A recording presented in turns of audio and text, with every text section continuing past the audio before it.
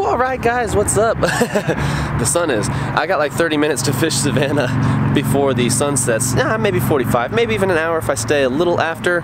And I haven't posted a vlog in like two weeks. It's upsetting. I have a lot of footage to edit, and I've just been slacking. I've been editing a lot of fitness videos for different people I've been filming for, and so I just put it on the back burner, which is a bummer. I'm staying on top of Instagram, so if you guys don't follow me on Instagram, the link is in the description. But at least you can keep up with me somewhat on there because I try to make at least a post a day but I want to hit these juicy little ponds with a jig. I just set up with a, a nice swim bait trailer. I don't expect to catch a big fish on it uh, even though it's a big presentation just because there's usually smaller ones in this body right here and that body right there which is all really connected around this main building. But uh, if I don't link up with one in like the first 20 minutes, then I'm gonna go to the back pond, which we know there's big fish at, and just give it a, uh, a shot back there. I usually throw black and blue or shad colored baits in that area because it's more murky, and this is a natural color. That's why I wanna try it here and just see if we don't get a bite right off the bat, and then we may switch locations if not. Okie dokie, where is it at? There's what we need. And uh, wonder if I should take the wacky rig too, just in case. Wonder if I should have two setups. Nah, might just take it with us. Probably a good idea.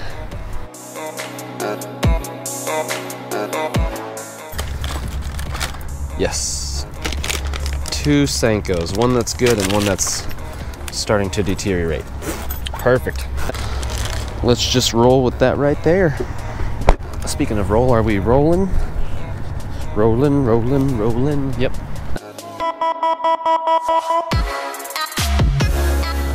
Something's going on right here, but the fact that I saw that means I probably spooked it and it might not bite even if it was hanging around over here. So let's throw this swim jig. Oh yeah, swim jiggy jiggy. And I'm using a heavier setup than I would normally use for something like this. Uh, I had this jig, hold up, let me let this plane pass actually, a little noisy. Okay, I think he's gone far enough now. Um, I had this jig just set up for bottom fishing with a creature bait.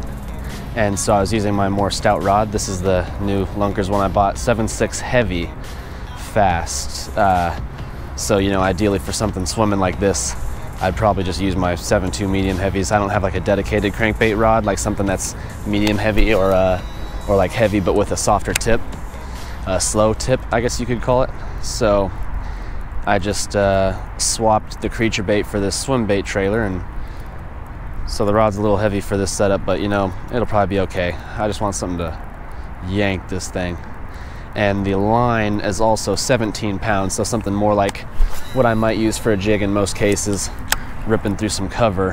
And when you're swimming, I could be just fine with something like 12 pound line, but again, I just used the setup the jig was already on. So we're just we're just hunting for a bite right now. And I would say that covers this corner. I want to go out where it's a little deeper. So we're going to just walk along the bank here for a second or two. Okay.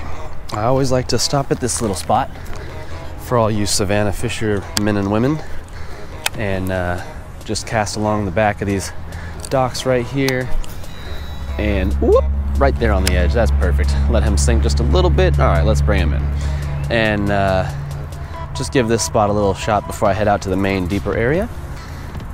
I usually have luck here with something on the bottom.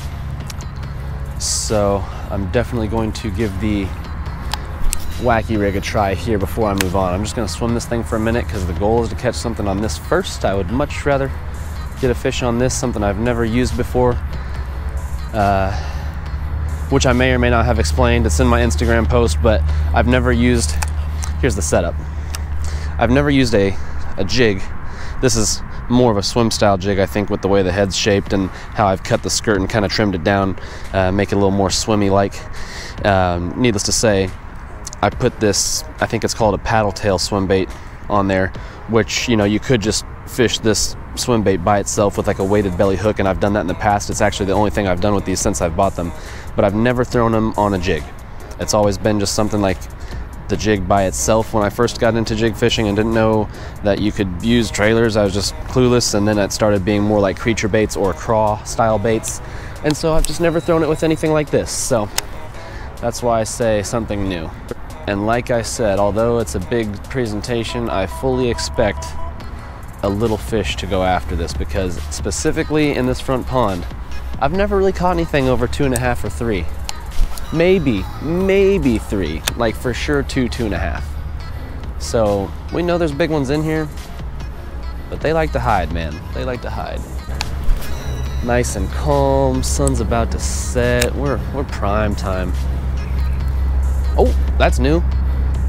Oh, you know what? Maybe it's not new, but the waterfall was either always going or I just have never been here when they turned on. But those are definitely brighter than normal. We only got so much time. Problem is, do we want to go with the... Oh, that one's torn up. He ain't gonna work. I guess we're going with the really tiny one.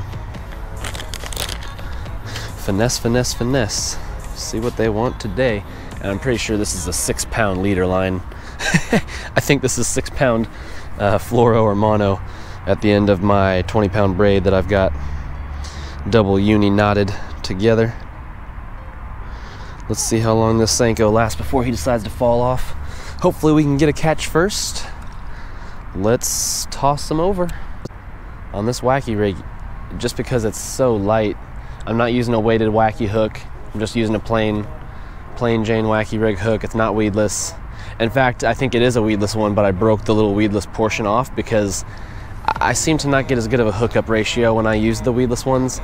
And I also feel like I pick up just as many weeds. Comment down below if it's the same to you. I feel like I, I just still get weeds around the hook, the eyelet or something, even using the weedless ones as often as I almost would just using the regular ones. So I don't see too much of a point in the weedless ones unless you are in a real specific type of grass that I just probably don't see often enough that would really get caught in that hook. It, it just seems better to use the, the regular wacky rig hook to me over the weedless ones in most cases. I had a dream this morning, it was like right as I was waking up that I caught an 11 pounder on a drop shot. so, so I wanted to bring the spinning setup out today. uh, to maybe throw a drop shot, but I don't have one rigged up. So my PB is four and a half pounds, by the way. I don't know where 11 pounds came from, but that's just what it weighed when we put it on the scale. In my dream, right before I woke up, oh, somebody's basketball. I feel like it's gonna do somebody less good in the water than out of the water. I don't have any use for it, but I'm sure the next youngster that walks by is uh, gonna be happy that I put it there. Don't fail me now. Where they at? Sun's going down. Give her another whirl. Ooh, she looks good. Ah, uh, you know what? Let's try the front pond. Haven't fished this one in a while leave that right here. I don't think they're gonna go after that in this pond. There we go, right along the bank. That ought to be good. There we go. Get out of here. Feels good. Look at that. I told you it'd be a little guy that hit it. Yes. Monster jig. Where's the pick? Swim, jig, da dum dum. SD card filled up like right as I got that guy back in the water or even just before, so that was a bummer, but it's all good because now I can put this thing together quickly, upload it tonight, and just prove to you guys that I can still catch a fish because that's really all I'm after. I barely even got to use my new combo that I have been loving so much. This is the 7.6 Heavy Fast uh, Lunkers Limited Edition Defender Rod. A couple quick announcements to wrap up the video because I've been a little behind on YouTube and focused more on Instagram lately. I am now partnered on the promotional team with Woo Tungsten on their pro staff, so I get a discount off for the weights, and I'm going to be using a lot of their products in the future future videos, so be on the lookout for that. I'm also with Team Googan. I've promoted that on YouTube already if I'm not mistaken, but I use a lot of the Googan baits. I love the Googan baits. You'll be seeing me throw a lot more of the Googan bait. And uh, so there's that as well. It's another deal where you can also get discounts off the baits and apparel with Googan Squad. And uh, I'm just happy to be a part of it with the guys. You know, they've inspired me so much. It's just, it's only right to uh, maybe partner with the companies that you feel are gonna benefit you and your fishing. And then also, uh, you know, the people that you, for me, look up to because they're the ones that got me into it. So Team Googan, Woo Tungsten, and now also Mystery Tackle Box. Man, I'm super excited. They reached out to me on Instagram and they're going to start sending me the pro boxes just because I've been uh, growing my social media following and so I'm going to be on their promotional team as well. I look forward to using all the baits. Uh, a lot of the baits you've seen me throw recently have come from the boxes and you're going to see plenty more so I love that subscription service where you can pay about 20 bucks a month and get close to 30 40 bucks in these boxes worth of products every single month so if you guys aren't familiar with Mystery Tackle Box go ahead and give them a look up. I'll try and link their information down in the description below last thing before we leave, you guys know I'm always filming with my Rode Video Micro mic. Uh, tonight I'm filming with a wireless mic. I'm excited. Yeah, I watch a lot of Gary Vee and I'm always like, man, D-Rock's always outside of the room filming Gary Vee and like getting the great audio and you know, wireless mics are a big deal and they're so freaking expensive. So I did a bunch of research, watched a bunch of videos and look at this, man. I got these Sennheiser wireless digitals, XS wireless digitals and uh, they're 350 bucks so they're not cheap but you guys are gonna probably see it in some more of my like review videos or if I do bait videos if I do bait caster or rod and reel review videos you know how I like to set them up in the office here? And so you're probably gonna see the wireless mic being used in those videos as opposed to the Rode mic. Yeah and check it out man this is the setup. I'm gonna throw a picture in here real quick. Cha-ching and so it's just, look, I got this little guy right here in my pocket. Such a small size, it's ridiculous. It's so dope. I'm, oh, I'm just excited to use these in a lot of other video work of mine. And then I've got the transmitter right up there. Transmitter receiver or transmitter receiver? Uh, I say only 350 because if you guys have looked at wireless miking before, oh my gosh, it gets expensive and it gets expensive quick. A bit of research, Sennheiser makes uh, great quality products, but then also this just was announced. Like it's not even out on B&H, which is where I normally order all of my photo video gear. Still on pre-order there, but I found it with a seller on Amazon that offered it for the same price, no tax, no shipping. Literally it was 349 bucks and they included a wireless battery pack because these have an internal battery as opposed to interchangeable uh, AA or interchangeable whatever batteries you could normally put in these other wireless miking options. But this has one internal battery so you do have to charge it. The life is supposed to be great. Y'all are fishing fanatics so you could probably care less, but I'm excited about it. Alright, the card and the camera just filled up too. I'm so behind on editing, this is ridiculous. I'm on my iPhone now. Uh, anyways guys, don't forget to subscribe, like the video, drop some comments of what you want to see in the future videos and we'll get after it. Till then, peace out.